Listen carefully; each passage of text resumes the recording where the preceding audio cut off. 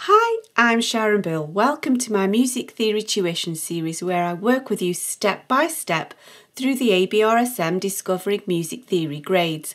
I'll work through every single exercise and explain everything you need to know.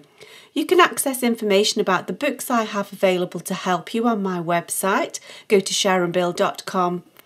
For advert free and longer lessons, you can become a patron at patreon.com forward slash Sharon Bill. If you can give me a like, that would be super, and please do subscribe to my channel to stay updated. You can support this channel by buying me a coffee at buymeacoffee.com forward slash Sharon Bill. Continuing on in the Grade 3 Discovering Music Theory workbook, we move on now to page 26 and we continue with the topic of major scales, looking at the new keys of A flat major and E major. And my suggestion to you would be to just spend a little bit of time and revise the key signatures from the previous page. And then you can use this exercise as an opportunity to just test your knowledge rather than just by copying it over. So do have a go. And now I'm hoping you've had a, a crack at these and let's check through these together. And so exercise one asks us to add accidentals to make these pitches correct. In a scale, we can either have a key signature that just kind of does the job all in one go, or if we're asked to add accidentals, we have to apply this key signature as accidentals to any of the re relevant notes.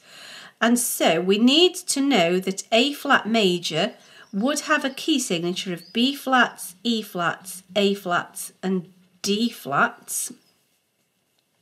And now we need to add these as accidental. So do remember that we're in the treble clef here. And then what we need to do is add the accidentals as the key signature would have dictated. And so if you're comfortable in the treble clef, you can just go ahead and do that. However, depending upon which instrument you play, you may not be comfortable in the treble clef. So you could always think, well, I know this begins on A. Of course, it will be A flat, but we will deal with that when we get to it. A, B, C, D, E, F, G, A. And so we know that we need a B flat. Now, although we say B flat, we have to write in music flat B because of course we need to know it's a flat before we play the note. It's no good putting it after the note. So although we would say B flat, we actually write in music flat B. So we need a B flat, we need an E flat, being careful to place them as you would the note head. That's actually a little bit low, isn't it? Shall I just tell myself what to do there? Let's just notch that up a little bit. There we go. So B flats, E flats. Now A flats, we need to write that twice. It feels like we're writing five flats, but we're not. The A flat just occurs twice on the tonic at the beginning and the end. And then, of course, we need a D flat as well.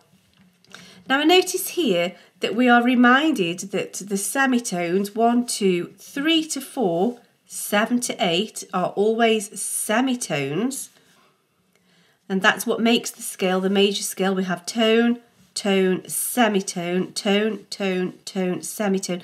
And so you could work out the accidentals by just thinking, I need a tone here from A flat. So A flat to B flat is a tone, and then B flat to C is a tone. And then we know that 3 to 4 is a semitone, so C to D flat is a semitone. And you can work it out just working tone, tone, semitone, tone, tone, tone, semitone. However, that is really laborious and quite hard work and it's inclined to go wrong if you're not careful. Whereas if you've memorised your key signature, you can just then quickly add the accidentals as required. And so let's now press on to the second part of this exercise. And so we're asked to make this correct as the scale of E major. Now we are descending, so do remember that as we are moving up the scale, one, so that's E, F, G, A, B, C, D, E. And so if you're not sure what clef, if you're not happy in this clef with these notes, don't forget you've got to work upwards. Don't go E, F, G, A, B, because actually that's going backwards, isn't it?